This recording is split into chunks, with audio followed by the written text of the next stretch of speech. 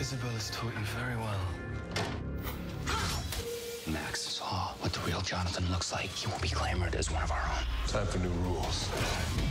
There are difficult decisions I have to make. The only thing holding me back from doing that is you. If you caught Jonathan, you wouldn't kill him, would you? I'll kill him with my bare hands.